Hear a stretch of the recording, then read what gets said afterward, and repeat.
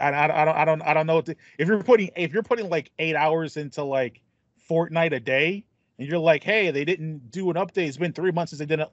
Hey man, people gotta eat and sleep and poop and stuff. You gotta you gotta figure out you gotta scale back. Uh, I mean, I, I don't I don't know, you know, development is is is crazy and, and like you said these are big updates so they're always releasing small patches and other things and those can happen you know in between time Random- a little yeah, randomly just infrequently they can hot fix something you know?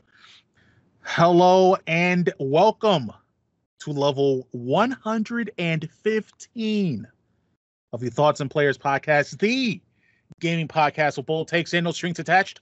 I am jeremy here with my compadre david. What up? how are you doing this fine evening? I'm uh I'm a little hot. My AC broke, so uh, I got the window open, but it does Yeah. not do it justice. it don't it don't i think it was like a humid 80 something out there today Oh yeah. And you know what's funny? As a house owner, Mhm. there's not necessarily a time frame for which something breaks. Like, oh, this this last 10 years, this last 5 years. No, it lasts when one thing breaks. Everything else goes. Yeah. I I don't have an oven, I don't have a dryer, I don't have a washer, I don't have AC. I'm I'm waiting for the fridge to go. I got the Uh, sink in the kitchen has a small leak. Like it Oh, all man. happened at once. yeah I need a new lawnmower oh no it's it's crazy it's not a matter of time frame it's a matter of when everything goes yeah oh yeah 100% 100% How it's doing? uh I, I mean a little bit better. I they, there was there was i will say that my ac was working. I did have a little bit of water thing going on it a few weeks ago and i and i was able to fix it because i think what happened is that the the inside if it got too cold some ice formed it was pushing water out. I had to turn it off for about 24 36 hours let everything melt let it get kicked out and then everything ran smooth. Right. so that seemed like it was going to be something that's ridiculous Mhm. um that uh, that got avoided. Now i eventually am going to have some major stuff that needs to be done. You mentioned a sink a sink leaking. Well when it rains good for a couple of days i have my house leak. So i have to get that whole thing figured out. Um Oh, yeah i remember you telling me about that. Yeah that's not going to be fun but you're right. It's um the benefit i guess the good thing is that economists and people say that somewhere we are building a thing called equity. So though we are homeowners and it costs us money it is somehow making us more money that is unrealized. So touche. we are though we are poor in real money we are rich in theoretical money. And that's oh yeah. that's, All that that's really what counts. matters right? Exactly, exactly. Ladies and gentlemen, chickens, ducks, and hens, we hope that you are living a splendid life with your theoretical money as well as possible real money. Uh, and uh, yeah, we want to thank you for joining us in on this level of the pod. We've got a couple of topics really excited and interested in getting into. But before we jump into those, let's start what we always start with, and that's what we're playing. So I can start, or David, if you want to take it. you can hit it off let's go Okay, I'll, I'll talk about the games I have been playing. I have been playing, um, really mostly just one game. just one A, a, a game that I believe I am, and I tried my darndest last night. I was up very late, ungodly hour. Should not have been up that late, but I was able to recoup. My body was able to recoup. However, I believe I am an hour to an hour and a half away from beating Expeditions Rome. That's yeah right. buddy let's go You look at my Steam, I can pull up my Steam right yeah now. I see it what do you got And I believe that if I look at this game, that playtime Steam has me at 60 and a half hours. Okay. Um, that's crazy for you man here's what I'll say. It's time. Uh, that's it, Uh, huh?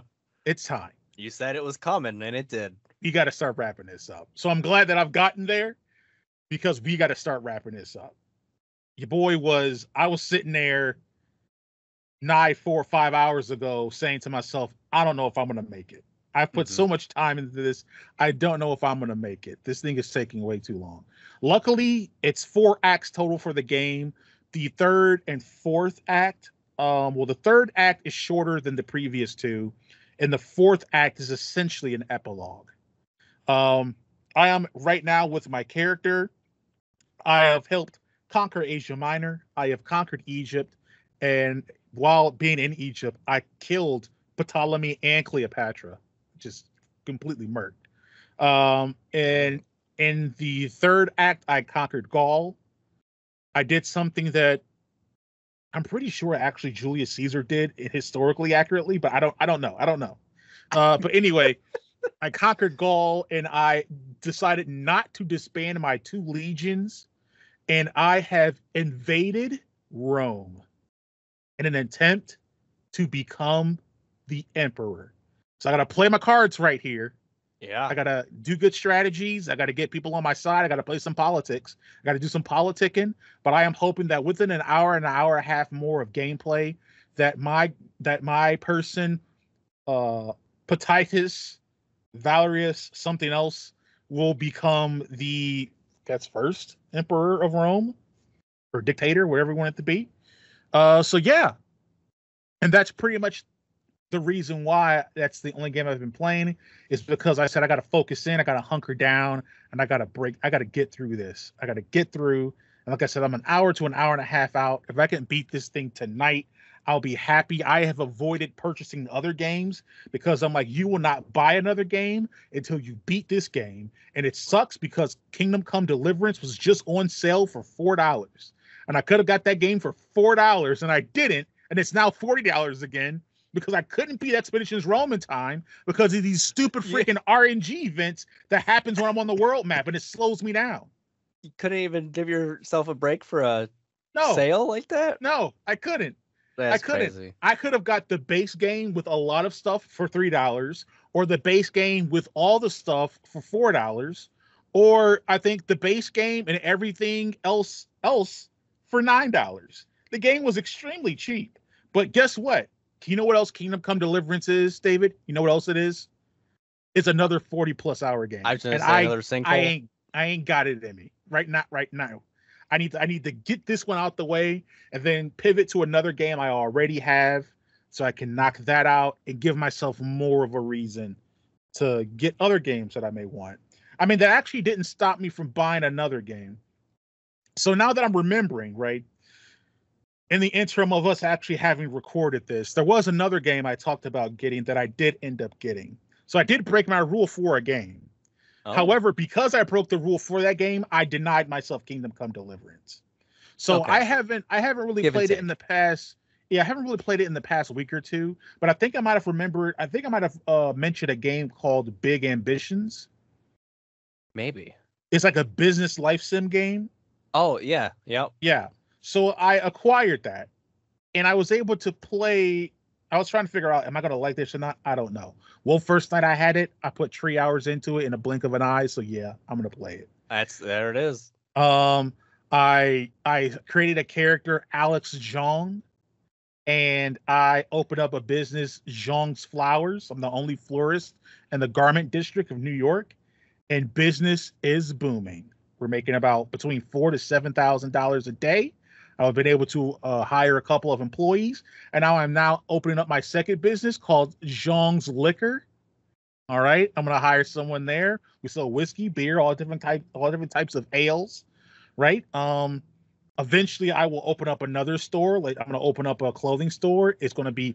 I want to open up my idea, my fantasy is to open up a huge, big, nice, expensive clothing store in Upper Manhattan, and it's just gonna be called Zhang's. And people are gonna go in there and they're just gonna buy, and it's gonna it's gonna print like fifty thousand dollars a day Ugh, in profit. So um I have I don't know if you could say business is blooming. very nice. I like it.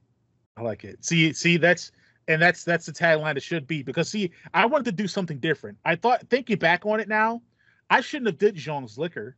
I should have opened up another Jean's flowers. And I should just have a bunch of Jean flowers until I can eventually create Jean's. Because I mean, you know, you gotta every store sells different uh, different things, so you have to get your supplies. So Right. with my flowers, I have to get I have to get cheap flowers and expensive flowers, and I had and I sell cheap gifts and different stuff like that.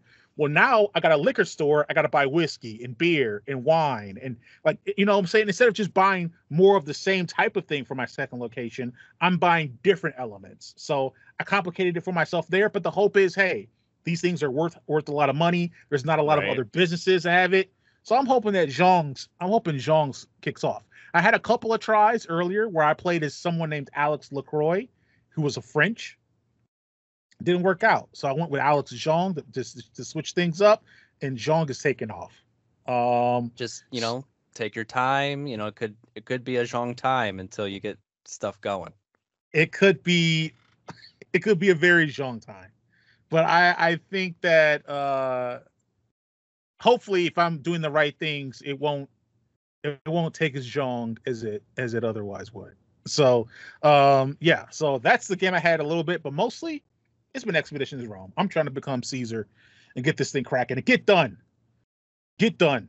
Get done with this game so I can go buy and play something else.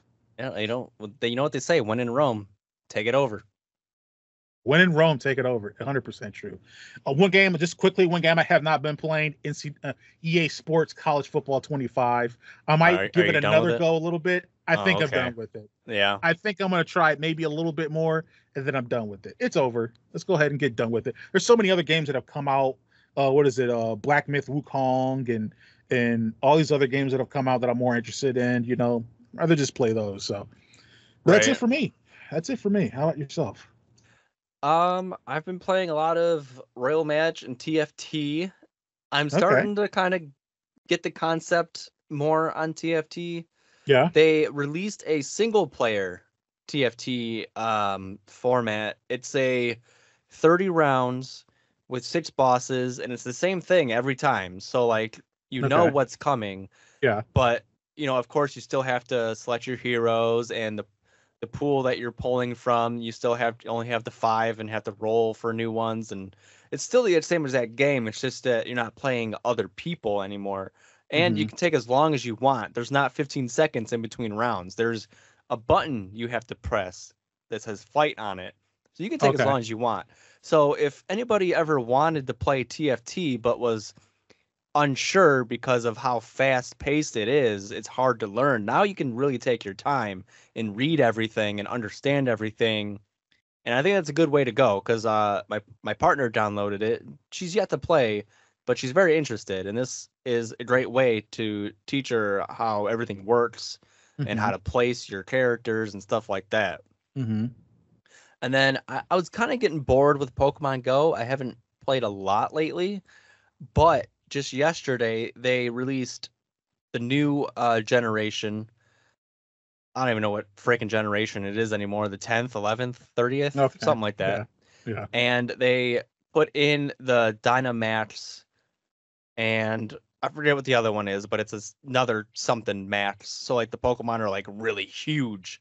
And now they have different uh attacks and healing and like stuff like that. So it's a whole new system in the game. So now I'm kind of going back into it. Yeah. And then of uh of course, been playing my Apex in the finals.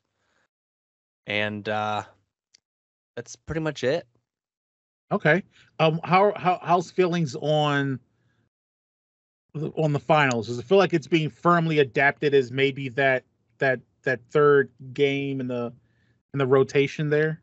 Yeah, I, I think so. I I'm of course stuck just playing competitive mode every time, and right now it's only one game mode. I think it's called Cash Grab.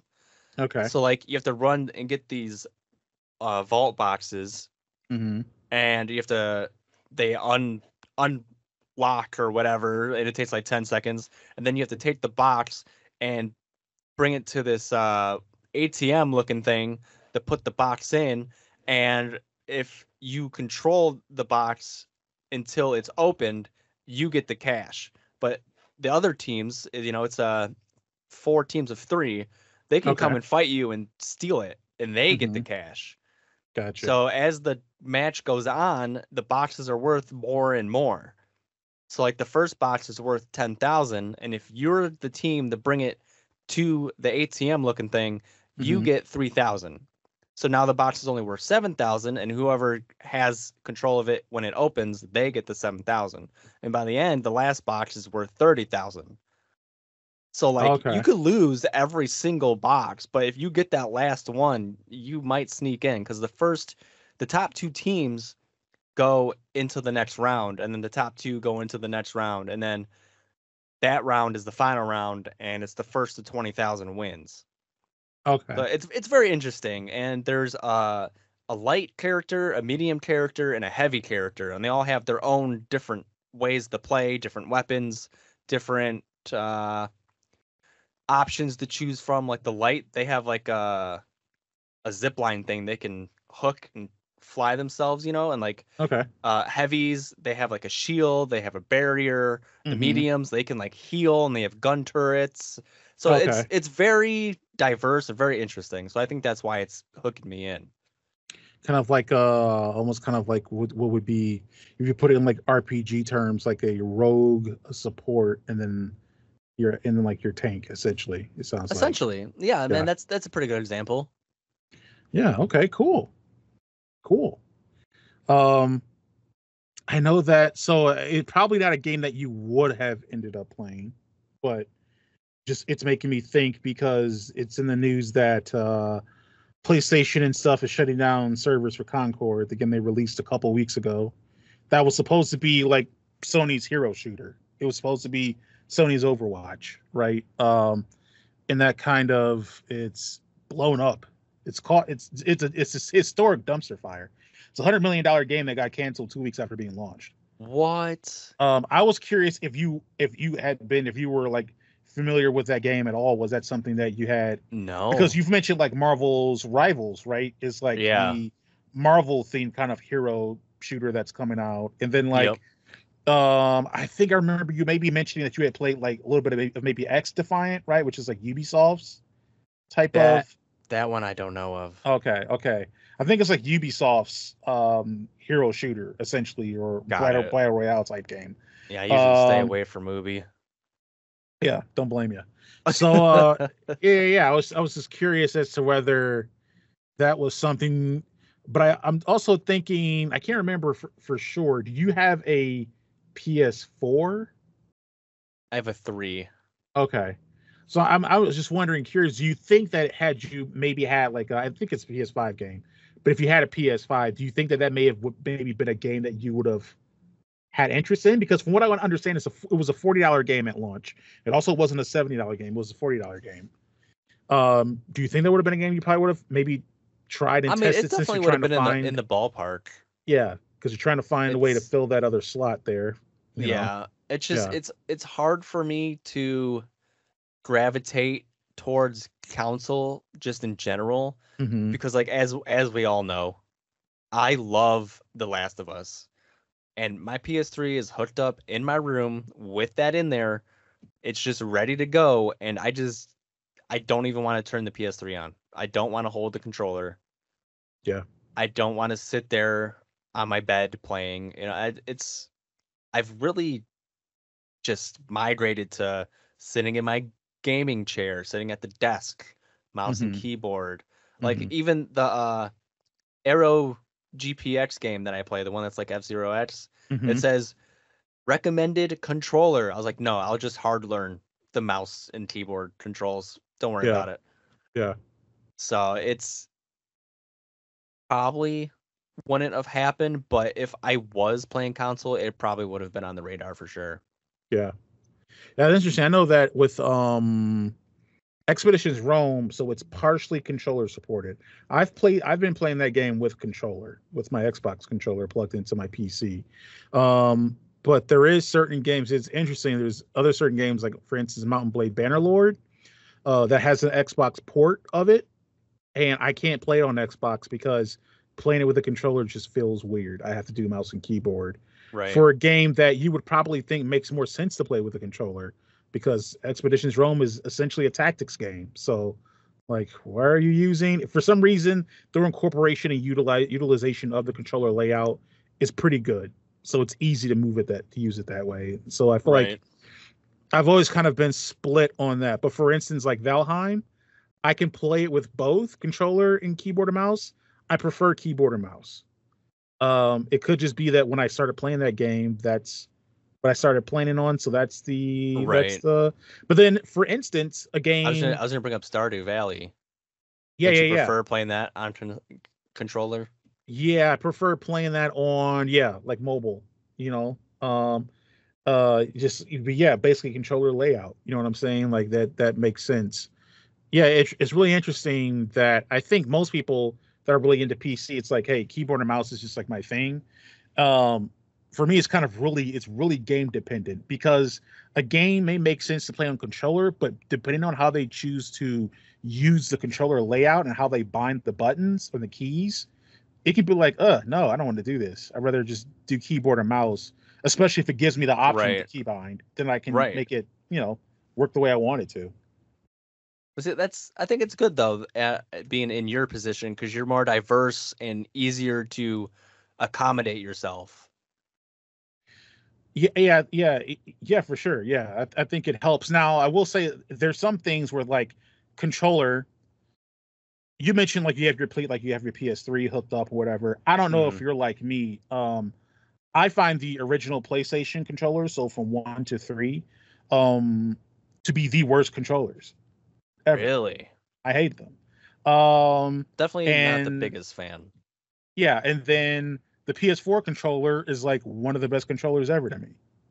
And That's um, crazy. They're not that much different. but they are though. Like I mean, they they feel like it, right? Like the way the buttons are positioned, the grips are a little longer, and they're flatter. They're less angled down or angled back. You know, Mhm. um, and it's just super comfortable. This the PlayStation Five controllers, super comfortable. Now I've always preferred the Xbox ones because ever since the controller S, to me, it's always been the most comfortable controller. And I Right. hated PlayStation controllers, but the last two gens, PlayStation's been killing it. And I'd even give it to. Uh, I recently found a Google Stadia that I had around here. That's right, I have multiple. Uh, and uh, and the controller for the Google Stadia is actually really comfortable. The buttons feel super cheap, but the actual controller itself feels super comfortable. So I'm like, man, it'd be cool if I could actually plug this into my computer and play games with this. I'd probably prefer to play with my Google Stadia controller. Um, Right. because then I can also save my Xbox controller for my Xboxes. But ain't nothing supporting that controller. So you know, so it's it's just not whatever, you know Dead. the Xbox controller has the largest, the greatest, you know, the largest amount of support. So that's just what I use. Um, but yeah. Okay, very cool, very cool. Now, let's move into our topics because you mentioned some games.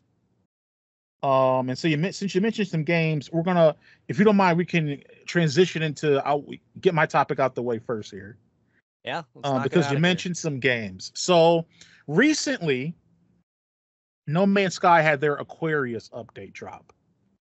Um, and let's see here. Just looking at this report here, it talks about how they've added a bunch of different elements like fishing. Uh, you can do fishing in it. You can do, you know, other diving. There's exo skiffs and stuff like that. They've just added a bunch of different updates in regards to the world and how everything works in No Man's Sky. So No Man's Sky um has trend is it's it's essentially its art and its story is incredible. It's actually an incredible game right now. Uh it has been pretty awesome for a good amount of time and it's it's been I would say for its life been more awesome than it's been terrible. And that's that's uh something to be that's something for Hello Games and them to be proud of, you know. Right. But um, it made me think because I am not too removed from playing No Man's Sky, and I think I think I tried a little bit last year. I tend to jump in and out of that game every now and then. Um, it made me think if you're someone that jumped into that game when it first launched, left disappointed, came back, and you were like, "Hey, this is the game that I wanted," and then you've sunk, continued to sink dozens of dozens of hours into it. You're like, "Hey, you know what?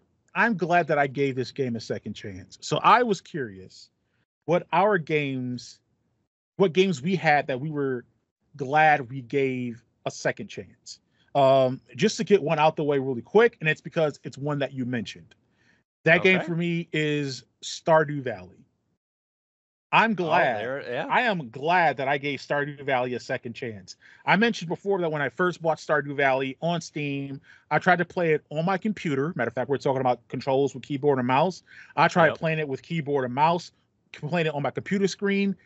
Did was not feeling it. Didn't make sense. It didn't. It didn't click for me. I'm like, ah, I don't like. I just don't like this. And then, four, five years later, years later, I decided, you know what? I have this credit for my Nintendo Switch. Let me just go ahead and buy it for my Nintendo Switch and see if I like it then. Uh, like it there. And then I immediately put 40 something hours into it. I was just playing it nonstop. And I'm like, I love this game. Like I That's love change it. of pace. Exactly. Like I love it. So you go from a game where you're like, I can't stand this. I don't even understand why this is even here to I love this game. And then uh went from that when I finally got my Steam Deck. I'm like, okay, well, let me see if I like it's like Stardew Valley on my Steam Deck since I've owned it on Steam for five or for seven years at the time. Loved it even more. And so much so there was a period where my partner was playing Stardew Valley on the Nintendo Switch and I was playing on my Steam Deck. And I'm pretty sure that between both of us in that interim of time, we each probably dropped 60 hours into the game. She probably dropped a little more. Dang. So I think, uh, not I think, I know for a fact, Stardew Valley is one of those games that I am so glad that I gave it a second chance, and I did. I just didn't cast it as a bad Steam purchase that I made because I bought it for cheap or I had some store credit and just decided to try it out. Um, yeah, it's it's proven to be like one of my favorite games. I talked before about how much love I have for Harvest Moon, and how I wanted something to scratch that itch. I had something that scratched that itch. I just wasn't interacting with it in a way that scratched the itch, essentially. Right. So uh giving it a second chance and actually allowing myself to do that, I'm great grateful for that. Grateful for my Nintendo Switch. That actually did something there. That that made itself worth the purchase. you know? Right. So yeah. I would say Stardew Valley that lines up as uh, the first one that comes to mind for sure. I, it's, it's like it's like you subconsciously knew like that game was the game to Yeah. scratch the itch, and you're like, let's try it again, and it just it worked out amazingly. 100%. You know, uh, the the first one for me, I this is when I first bought a computer to play games on, hmm and all I did was play Stepmania on it. And my friends, a few of them were like, "Hey, you should download this game." I was like, "I don't. It's not really my thing." You know, it was it was PUBG, right? And at the time, if I wasn't playing Stepmania, I was playing Call of Duty. hmm And that, well, that was pretty much it. So eventually, they convinced me, and I played it. I'm like, "Yeah, that's it's not. I don't like it, especially since it was my first mouse and keyboard game. I had absolutely no idea what I was doing. But my friends kept inviting me. I was like, okay, yeah, I'll play with you guys. And then push comes to shove, I put 800 hours into it. Yeah. I was like, all right, okay. I'm I'm glad I decided to play that, which Right. pushed me into to Apex. I knew I was gonna love Apex as soon as that came out. Yeah. Now I got 3,000 in that one, 3,500 to be honest. Yeah. So yeah, PUBG is my first game. Do you feel like you would have found or looked at Apex without having had first gone through and experience what PUBG was was in that whole battle royale kind of genre? I think I would have, but only because it was made by Respawn Okay. and it yeah. was the Titanfall world. That was Yeah. the only reason I would have tried it if I didn't play PUBG. Yeah. Because had the had the respawn Titanfall connection, so it's like I, exactly. And Yeah. I've been like, oh, okay, they made this. You know, I, I might like it. And I Mhm. might have enjoyed it just as much as I do. But I'm like, oh, you know what? This isn't actually Titanfall. I don't want to play this. right. PUBG kind You of know, gave you a, a, a better gave me the sense of push. yeah, it gave you like a better sense of what it might be. Right. Like I, I like kind of like this is what this this genre of game is essentially, and now right. here's this IP with this world that you're familiar with, with these shooting mechanics, with this developer you're familiar with, and we're entering this genre. So you've experienced this genre from what was at time, I think, the preeminent representation of that genre.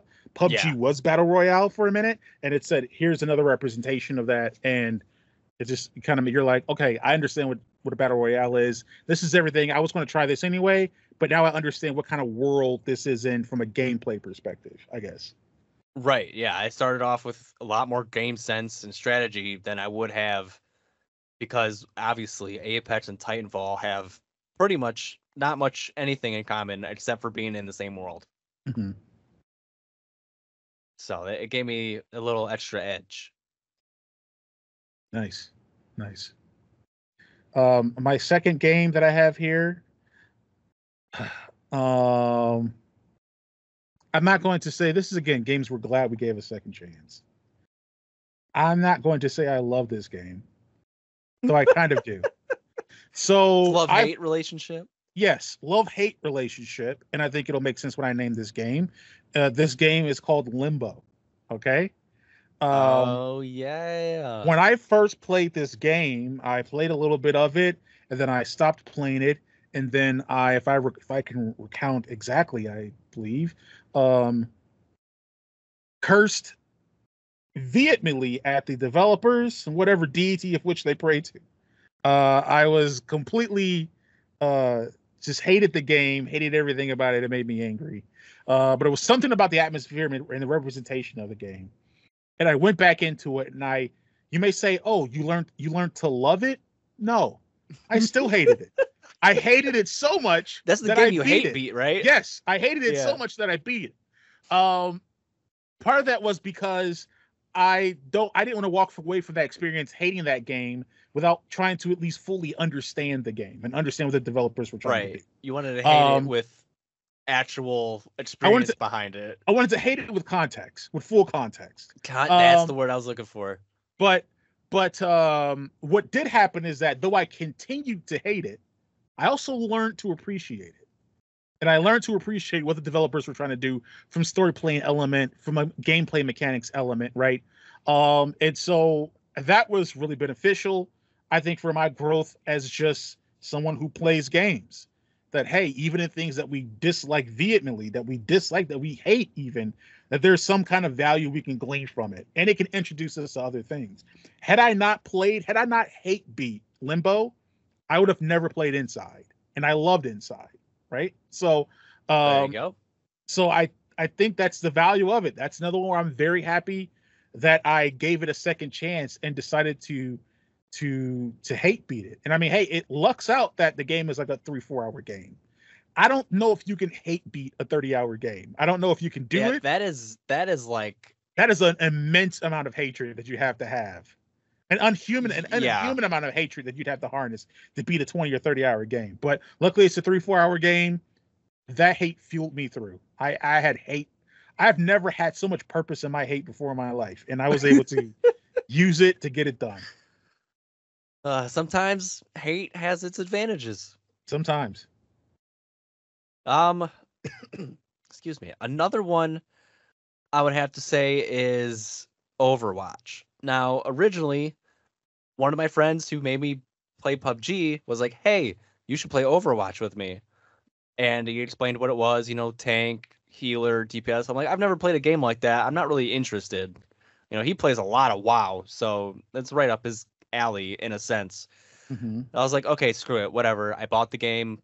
I played with him for a couple hours, and I was like, I I don't really know about this. You know, I've never played a game like that, even with a map objectives. Mhm. More so, besides like Call of Duty's like capture the headquarters, which Overwatch has. You know, uh, I forget what it's called. It's King of the Hill kind of, but like the whole relying on other people just isn't really my thing. Especially like Call of Duty, I could just run the lobby by myself and be fine. Mhm.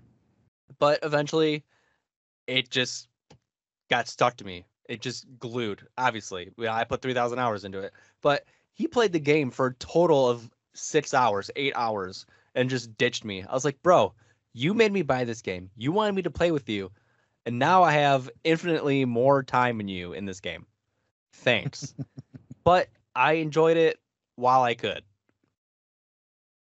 Yeah. Hey, now you just you, you try to take the value that you can from something, right? Right. Yeah, hundred percent. Um, let's see. The last game here that kind of really sticks out to my mind that I'll give is another game I've talked about before. It's a game that I love, so it's another one of these. It's like the first one. Grew to love it. Uh, that game is the Guild Two Renaissance. Um, I played it, and I've said this before. I played it, and then was going to give up because the game doesn't work. The game just doesn't work sometimes. I cannot stress this enough.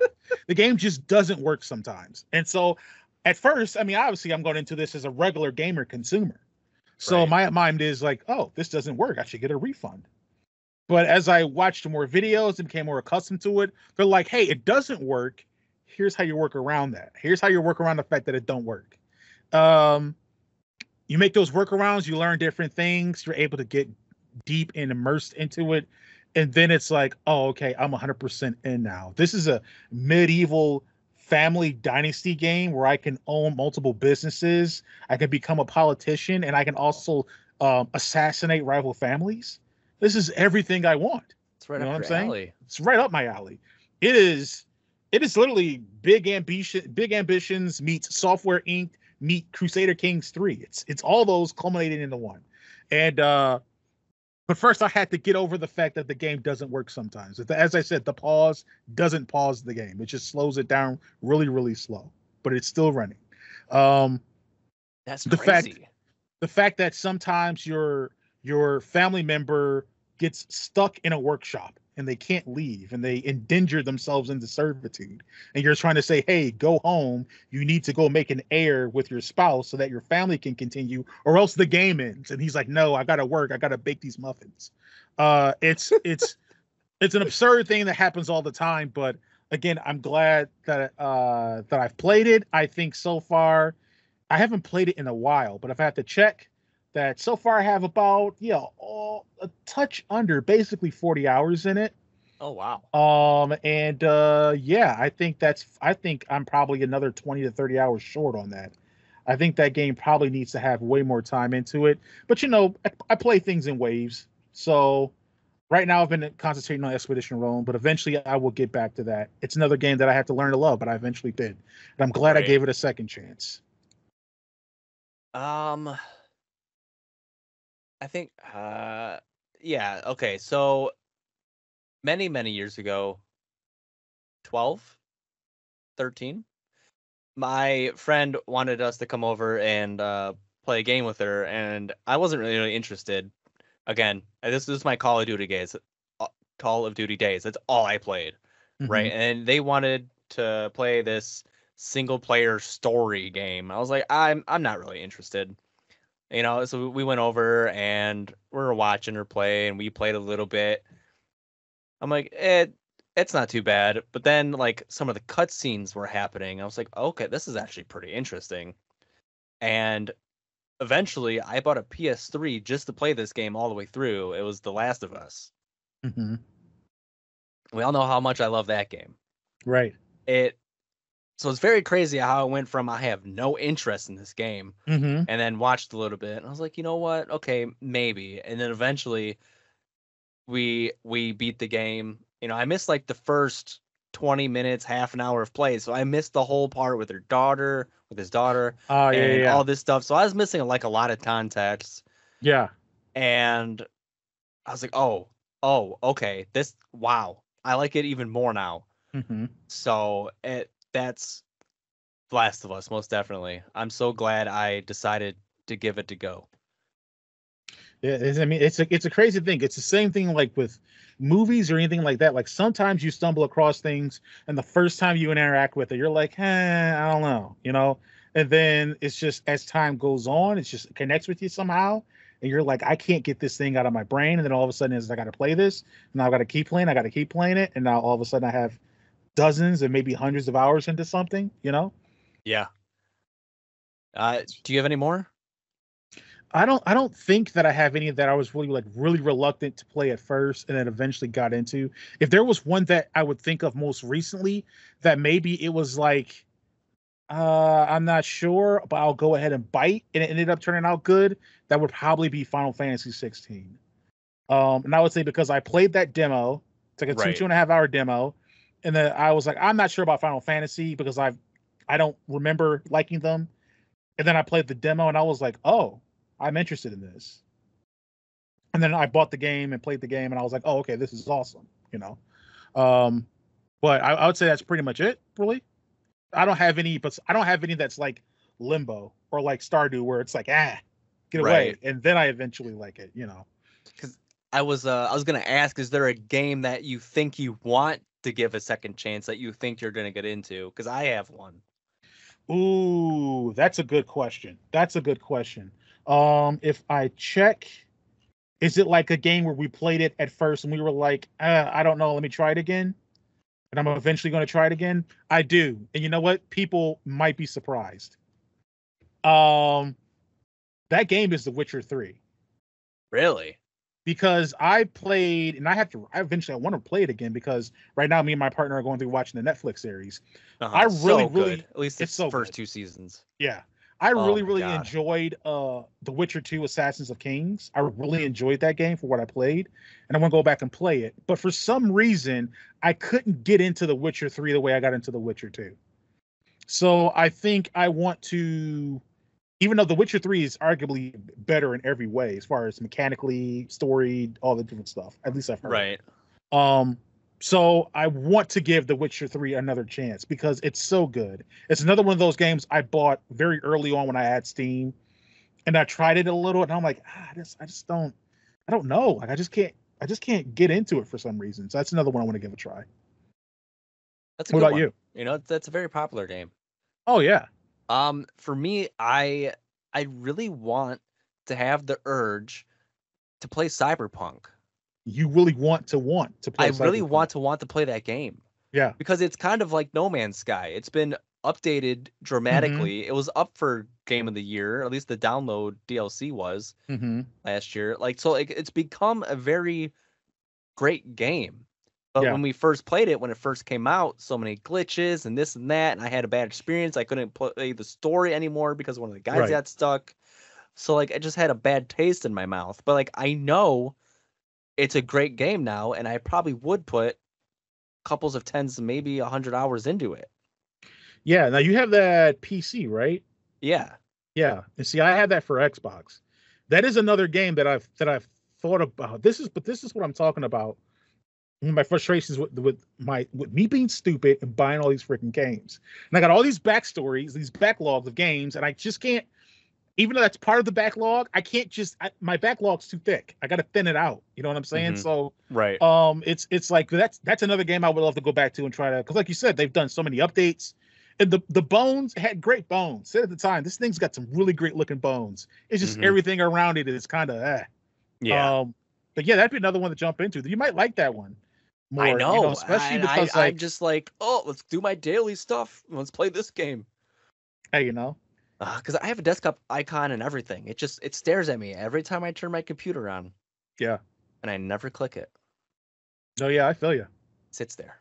Yeah. But that kind of leads me into my topic. Yeah. If you think we're good to go. oh yeah Okay. what's your topic So, my topic is with games like Cyberpunk and No Man's Sky and Apex, Overwatch, stuff like this. Like, not exactly just live service, but games that have updates. mm-hmm. Generally, at least the ones you know I play with, like battle passes and you know stuff like that. There's usually like a big quote unquote updates, usually every three months. Now, you have a lot of gamers to kind of please, right?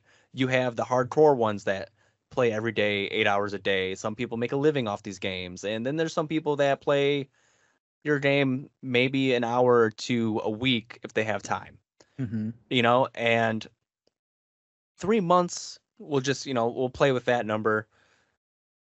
Is that a good time frame? You know, the person who only plays an hour or two a week, that's only 20 hours they get to play before a huge update comes and they're like okay i have to get used to this now but then you have the people playing eight hours a day for three months and it's like all right where where's this update i can't Right. wait for it any longer i'm kind of getting bored Right. so like even though that's a thing is three months generally a good time frame Hmm.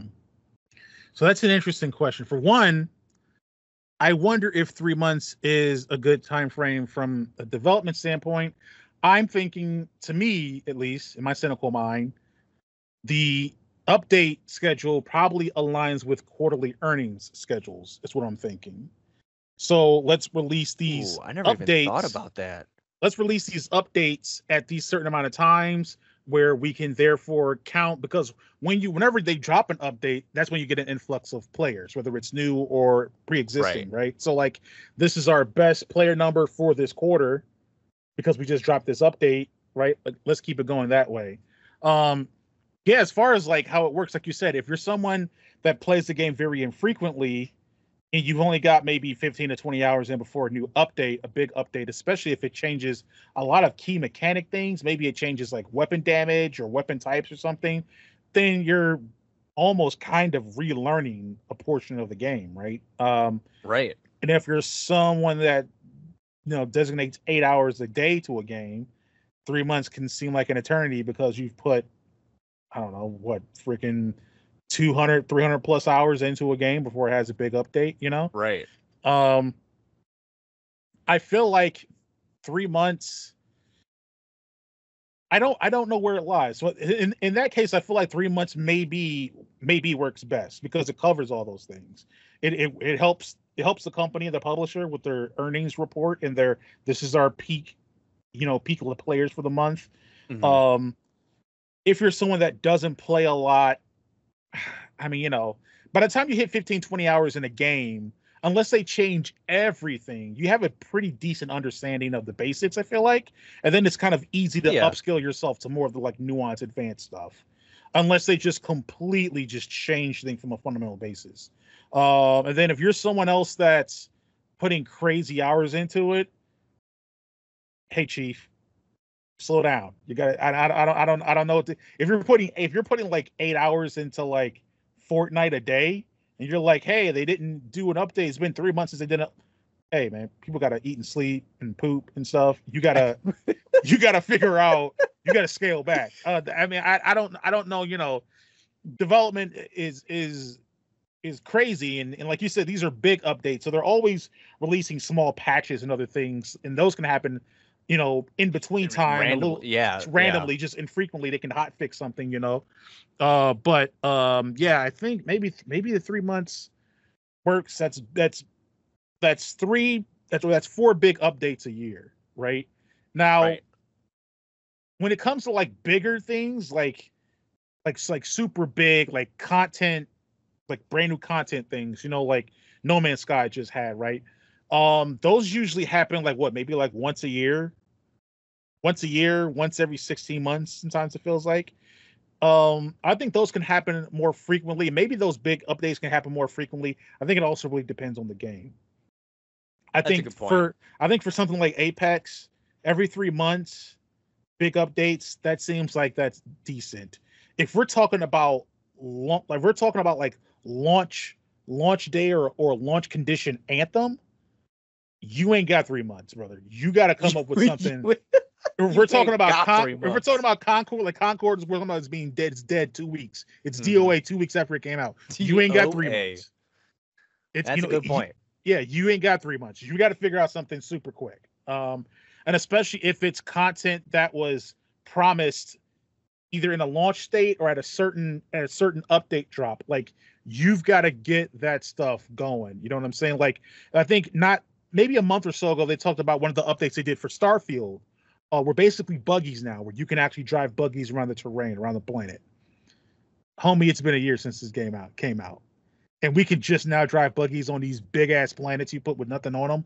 Brother, you had to have come out with that maybe You- like that should have been at launch. two, three months. If it's not coming out at launch, it should have came out within three to four months after launch. You know what I'm saying? Right. Like it, it, you- it, something like that is where it's like because then the player count dwindles, it dies, and then what are you really? What is all this development supporting really? Right? It's going to cost more. That's the reason they shut down Concord. It's going to cost more to keep to to keep the servers up than it was going to be for like with Concord. They're I think they they, they think they sold twenty five thousand copies. They're refunding everyone their money. It's cheaper for them to refund everyone their money and close down the servers than it is to keep those servers up and pay for development on the game that's that's DOA. You know what I'm saying? So like That's how many copies it sold. allegedly, twenty five thousand. So for a hundred million dollar game That's developed disgusting. developed Disgusting. by or published by Sony. It's a first party game. But um like again, so your update schedule's got to change. Those big updates have got to happen a little sooner. You know what I'm saying? Or or they have to happen at a weird infrequent schedule until you can reach equilibrium. That's why I mean No Man's Sky is such a rare case. But Cyberpunk is such a rare case where a game can have that big of a botch of a launch and different things, but still update and update and update and get it consistent and good to where it can support the player base. The player base comes back and everyone's enjoying the game, and it has given the chance and opportunity and time to be great. Um, right. But even then, those those con- those updates and those patches were pretty consistent. And I feel like for games like Apex and like Fortnite, um, those updates they might lag, but they're probably more consistent than not. They're probably more consistent than like Warzone or something like that, right? So like, um, Right. you know, I think I think uh, they're probably a little bit. I don't know. They may be more consistent than even something like Overwatch. I'm not sure, but um, I think I think once every three months, if your game is on the up and up, I think that's fine. You know, you're gonna obviously have people that play the play it to death, and they're gonna want something every week. But like that's just not that's not It's not realistic. viable. Yeah. I, I'm I'm gonna have to really uh, uh, kind of like agree with you here. Uh, even myself, that's put so much time in the Apex, the three month window is I think a good amount of time because one, just sitting there playing ranked, I have more time to try to get higher ranked, which Mhm. you know never happens. I hit diamond if I'm lucky, and that's it every season. Same with Overwatch. But like I, I have time to get used to the maps. I have time to get used to the damage the guns do. Mhm. I have time to get used to what guns are in the care packages that come down. Like they they make bigger changes than Apex. Like oh, there's a new map, so I have time to get used to the map. Or they made a Right. huge change on an old map, which they do all the time. So I'm like, okay, I have Yeah. time to get used to this and remember this. Like it's it's it's good in my opinion. And like even in Overwatch, it was about the same. The battle passes are about three months. No, it's not as drastic as Apex. Like, yeah, sure, some damage might change between the characters or their Mhm. health might go off a little bit, but they also, you know, they introduce a new map and they introduce new characters.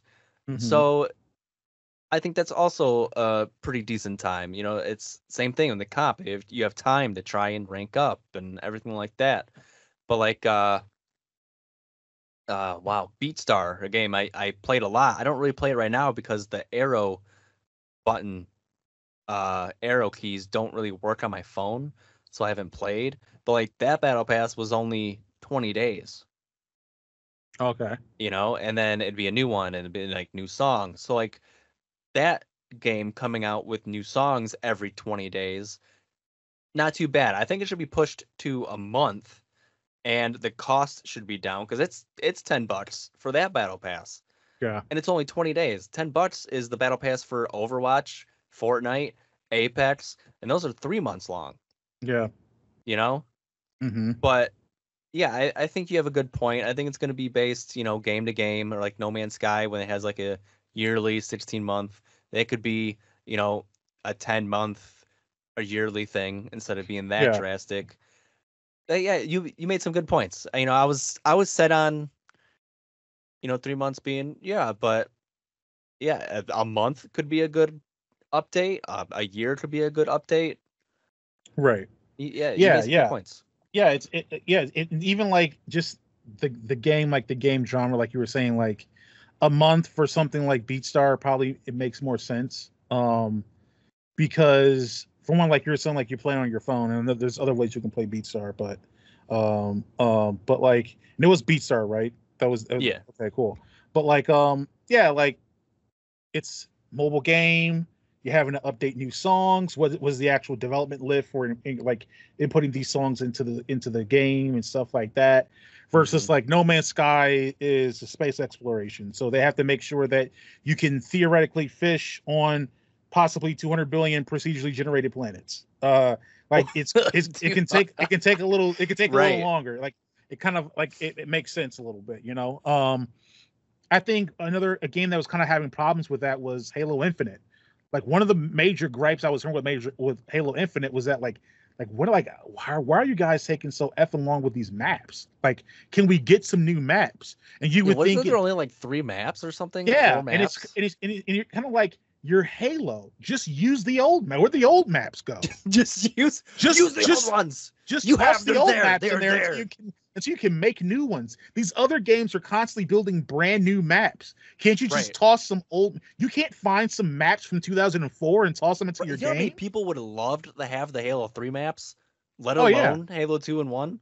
Oh yeah, oh yeah, yeah. Like you, you like hey, so like many games to pull from. oh yeah.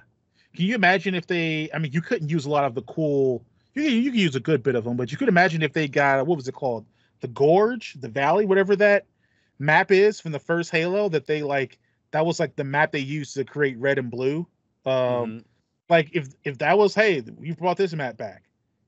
I mean, you could if you brought it for people would probably freaking just throw themselves out a window if you did that. You know what I'm saying? Like to it. Like hundred percent. But it's like, can't you just grab? Can't you grab some maps from ODST and just throw them in there? Everyone hates that game. Just find some of those maps and put them in there. Right. You know, half the people won't even recognize them. they wouldn't because they didn't play it. No one played that game. Uh, oh, this is a cool map. Oh yeah, it's actually old. Uh, no, I don't think so. I don't. I I've played every is Halo game. This is and new. I I haven't seen this one before. You played ODST. Um, what was that? It's almost like a swear word. I never played ODST. Oh, you're familiar with ODST? What did you just call me? But, um, you said what? Exactly. That was a, that was a hard T. Exactly. Very hard T. ODST. But um Oh. yeah, it's it's something like that, you know, you got to be able to update. I think they did like an update like one every 8 or 10 months. Like you there's you got to there's a, a a you know there's a certain standard that you have to kind of abide by when you're developing and making updates for games like that.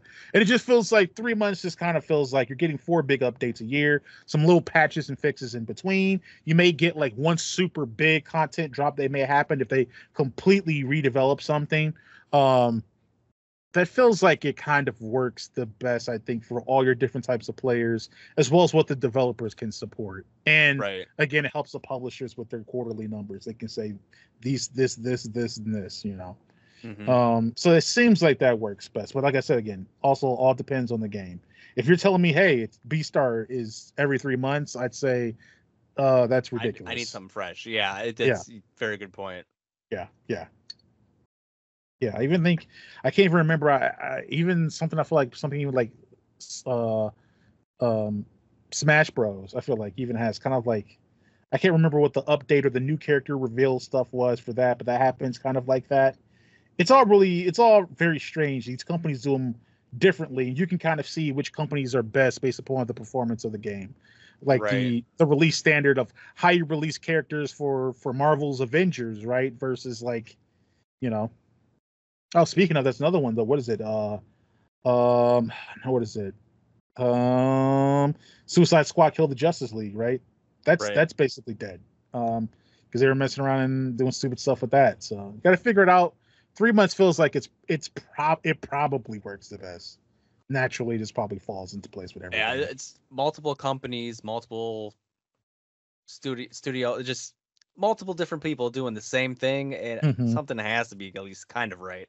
Hmm Yeah, yeah. I was trying to remember what the update schedule for games like the on the kind of games and service games I you would usually play, which has really just been the division, and I can't remember what their kind of update schedule was. Um, but they usually have like one big content drop. They do either within the year or maybe around a year after the game comes out. So, okay, that's cool. But then they usually don't do anything else. That's not good. Uh, but arguably the game's dead after a year already. So who knows? You know, Right. It's you know, yeah, yeah. good stuff. Um, yeah. Well, we're near the end of the episode, which leaves us final thoughts.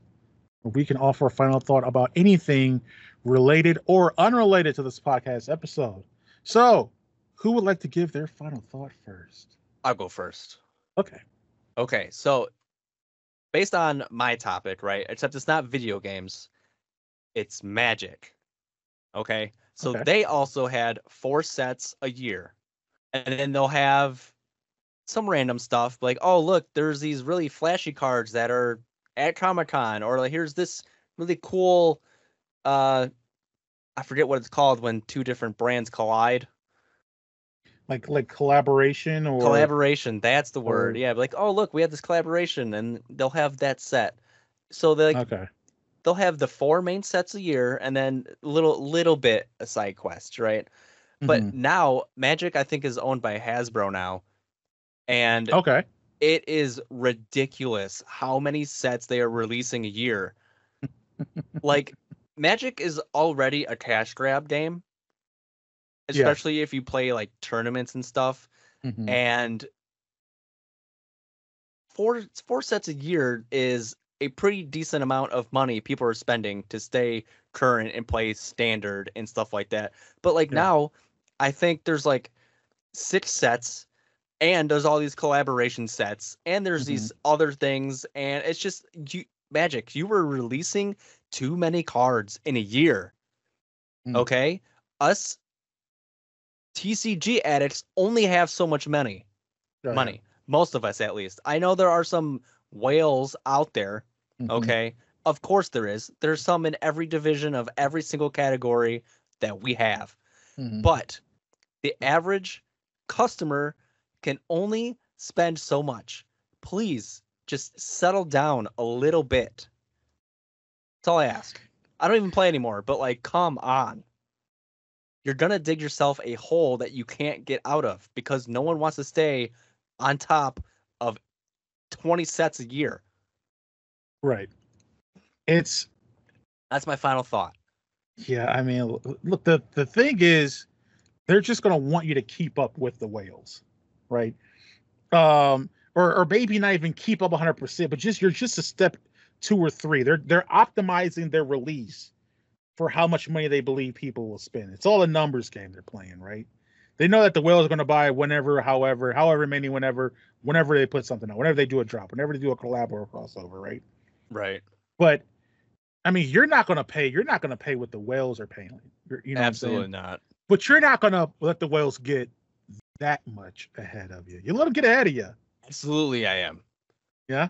I I can't like uh even when I played uh Dragon Ball Z, you know, they had a a good release window, and I think that was four sets a year and everything. Okay. But like there was people, I did it for one set. Okay, let's let's not get into that. But there's people that buys boxes of boxes every set. Okay, that a box I think was like a hundred bucks, and then like Mm. a box of boxes I think was either six boxes or twelve boxes. I want to say twelve boxes. It's like it's like insane Mm. just to do that every set. I understand if they're doing it as a like, hey, I'm gonna open all these cards so I can sell them. But there's some people that are just like, I I just want all the cards. Yeah. And that's GG whales. Okay. There you go. That's what everyone says. That's what everyone says to all the whales, GG whales. If you're, you know, some uh, moron playing Madden Ultimate Team, GG whales. You know what I'm saying? Yep. Um, for one, you deserve it. You're, you're playing you're Madden Ultimate Team. You're buying Madden cards. Oh, I'm gonna go in here and uh, buy a Madden card of Brock Osweiler. You deserve to get GG'd by a whale. Uh, but uh, yeah, yeah, I feel you. Um, my final thought is that uh, September, the next game that's coming out that I'm looking forward to that will be on Game Pass, Frostpunk 2. oh yeah. I think it I think it comes out September 20th if I'm not mistaken. Um I yeah, I have being not the end of the month. yeah, I have not jumped back into Manor Lords. Uh very surprised in myself very much that in the same time of which Manor Lords came back came out, I decided to instead play a two-year-old tactical RPG based in Rome. uh but that's just how that's just how my world works. It's works. just it's the timing. Um, Yeah, so You'll play so- Manor Lords in five years. Be like, you know what? I like it. Yeah, I, I've given them some more time. I think I talked about before how like now they've actually recently added goats, and I think that you can actually uh, milk the goats and have their the have goat milk as an actual category, And we talk about updates. This was the big update for Manor Lords. You can get Goats. goats. Are in the game. That's that's, That's- a goats update, man. Yeah, exactly. So um, but yeah, Frostpunk 2 coming out end of September. I want to jump into it. I have a sneaking suspicion that I just I won't, but I I like you want to want.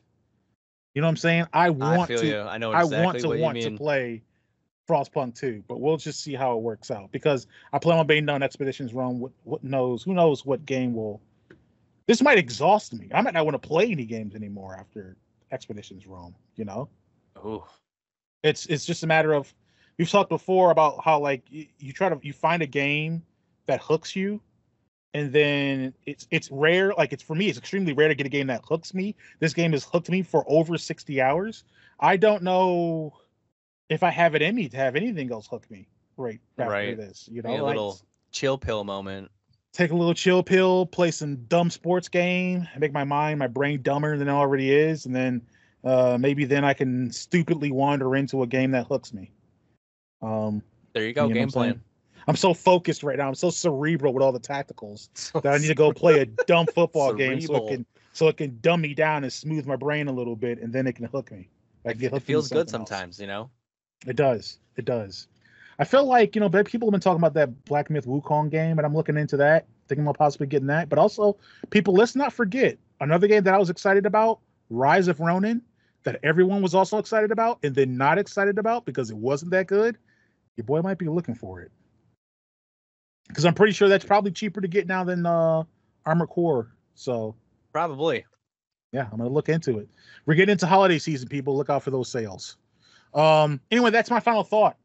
That brings us to the end of level 115 of the Thoughts and Players podcast, the gaming podcast with both takes and no strings attached. If you like what you heard, please like and follow the podcast on your preferred podcast service. Uh, you can also like and follow the podcast on the socials like Facebook, Instagram, Twitter, TikTok, and of course YouTube, where we upload video versions of the podcast every week. If you want to support us with those dollar dollar bills, y'all, or perhaps some of that theoretical monies you've been building up, there's a couple of ways you can do that. Well, we prefer real money, not theoretical.